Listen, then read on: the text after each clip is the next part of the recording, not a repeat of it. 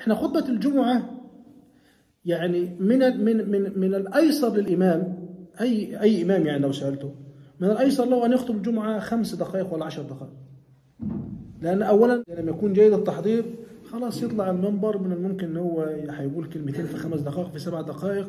سبحانه وبعدين يقول لك سبحان ربك رب العزة عما يصفون وسلام على المرسلين والحمد لله رب العالمين وانتهى الأمر. وبعد كده الأخ يترجم وكده صلينا ليه؟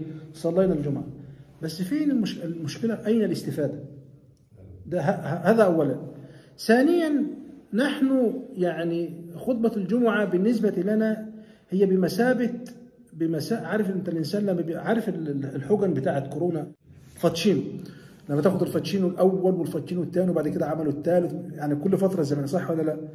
إحنا بالنسبة لنا كمسلمين إحنا طول الأسبوع تايهين في الدنيا و- و- وبعيدين كثير من الناس أصلا بعيد عن المسجد لا بيحضر لا درس سبت ولا بيحضر مثلا القران بعد صلاة المغرب وربما أصلا لا بي- ما بيسمعش أي شيء مثلا آه، ديني في في بيته يا إما الأخبار يا إما مع المسلسلات يا إما مع كذا يا إما مع كذا يا إما حتى لا يجلس امام التلفاز وهو مشغول مع فمحتاج دايما vaccino محتاج دايما اللي هو الايه آه، ال- ال antibiotico بين بين الحين والآخر و- آه، هي سبحان الله لأن شوف رغم كل حتى دي دراسات أصلا معمولة في في جامعات غربية إن حتى مع كثرة وسائل الإعلام المعاصرة ومع ذلك وجدوا أن من أكثر ال ال الوسائل تاثيرا في الإنسان خطبة الجمعة بتاعت المسلمين.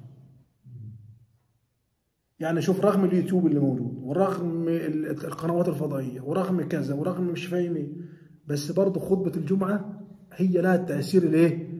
التأثير الأقوى. ودي دراسات بحثية مع مع معمولة ليه؟ أصل انت ده, ده أنت ساقك الله سبحانه وتعالى إلى المسجد ده قال لك اترك العمل إذا نودي للصلاه من يوم الجمعة فاسعوا إلى ذكر سيب كل حاجة وتعالى لبيت الله سبحانه وتعالى طب بالله عليك أنت كمأموم لما ربنا يقول لك فاسعوا إلى ذكر الله أنا كإمام لو لم أقم بدوري أنا في في في في في, في إن أنا أجيد في تحضير خطبة الجمعة يبقى أنا كده خنت الأمانة. خنتك من الناحية الفكرية ومن الناحية العقلية. طلعتك من خطبة الجمعة أصلا ما أنت ده أنت يا أخي ده ربنا قال لك سيب العمل وسيب الحياة وسيب زوجتك وسيب أولادك وتعالى للمسجد طب وأنت تيجي المسجد شك شكلا بس؟ يعني آه، أنا رحت صلاة الجمعة وانتهى الأمر؟ ولا تخرج بشيء معك؟ تخرج باستفادة صح ولا لا؟ فلا بد من أولا من الإعداد الجاد ودي أمانة الخطيب مع الله سبحانه وتعالى وأمانة الخطيب مع المأمومين. وثانيا لازم تطلع من يعني تاخد الموضوع متكامل. يمكن حتى الاخوه اللي هم متابعيني في الخطب يلاحظوا إن الموضوع أصبح يعني متكامل على بعضه. بمعنى إنك أنت بتحاول بقدر الإمكان تديله الجرعة كاملة. عامل زي الطبيب لما يقول لك لازم تاخد الجرعة دي كذا. لو نقصت ولا زي لا ما ينفعش تنقص وما ينفعش تزود. يعني ده من وجهة نظري. واحد يقول لك إحنا بنخرج من المسجد ناسيين كل حاجة. ما إحنا برضه مش مش ملائكه يعني. هو ده إذا كان الصحابة على عهد الرسول صلى الله عليه وسلم قالوا يا رسول الله نكون عن نكون عندك كأننا نرى, الجنة والنار رأي العين. لما بتوعظنا يا رسول الله كأن إحنا إيه؟ كأن إحنا بنشوف كأن ش- يعني الحالة الإيمانية عندهم وصلت لعين اليقين. كأنهم شايفين الجنة أمامهم والنار أمامهم. فإذا ما خرجنا من عندك يا رسول الله عافسنا الزوجات والأولاد ورحنا السوبر ماركت ورحنا هنا وهنا وهنا وهنا فقال لهم الرسول صلى الله عليه وسلم لو تدومون على ما تكونون عندي لصافحتكم الايه؟ الملائكة يعني لو لو أنتم موجودين بره زي ما أنتم موجودين في خطبة الجمعة والتأثر الإيماني ده الملائكة كده إيه؟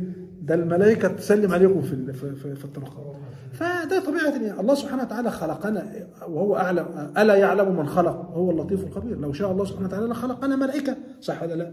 ولو اراد أرادنا عصانا خلقنا أبارسة وشياطين لكن إحنا الإنسان فينا الإنسان بيتأثر بالحق وده كويس إن الإنسان سبحان الله لما يجلس وذلك دايما نقول كان حتى ركزنا على هذا في خطبه الجمعة بالأمس ودايما نركز عليه يقول لك البيئة الإيمانية البيئة الإيمانية البيئة الإيمانية اللي هي المسجد. لما تسمع مرة آية مرة حديث مرة حتى تنظر في وجوه الناس ال- ال- ال- الطائعين من حولك يعني نظر في وجوه هؤلاء الناس ده يقربك من الله سبحانه وتعالى لانهم طائعين وبت... ما هو أصل ورجل قلبه معلق بالمساجد ورجلان تحابا إيه تحابب في الله ربط النبي بينهم لانك انت تحب هذا في الله و و و و و وتساله ان يدعو لك و و و و وانت وانت أيضا تدعو له وتقول دايما ربنا يجمعنا على الطاعه وربنا يجمعنا في الاخره في الجنه وهكذا فدايما البيئة الإيمانية وأنتم عارفين حديث الرسول الرجل اللي هو لما جيت ال 99 نفس لما ذهب إلى العالم بعد ما جيت للعابد اللي قال له مالكش توبة قال له ليك توبة ولكن اذهب إلى أرض كذا فإن بها أناس يعبدون الله فاعبد الله إيه؟ معهم ده اللي إحنا بنقوله دايما. دايما لما يكون الإنسان في المسجد فيعبد الله سبحانه وتعالى مع الإيه؟ مع الناس ومع الجماعة. حتى ولو تخلف هتلاقي كذا واحد بيتصل عليه. آه ما جتش مش فاهم إيه. ليه؟ خلاص تعودوا إن هو مثلا إيه؟ موجود مع بيقول لك والله ده أنا كنت مريض. أنا مش عارف الهاتف كذا فكذا صح. ف البيئة الإيمانية هذه بتحفزك. ودي ما فيهوش ليس فيها رياء. ده اسمه تحفيز وتشجيع على الإيه؟ على طاعة الله وعبادة الله سبحانه وتعالى. جزاكم الله خيرا وبارك الله فيكم وأحسن الله عز وجل لكم.